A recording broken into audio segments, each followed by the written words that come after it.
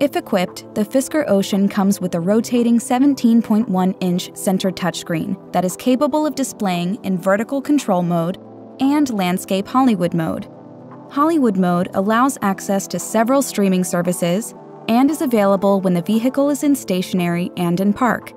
To switch to Hollywood mode, press and hold the center button on the button bar for 3 seconds to rotate the central touchscreen into a horizontal position the steering wheel will automatically move forward for clearance if it is in the way before the screen rotates into Hollywood mode.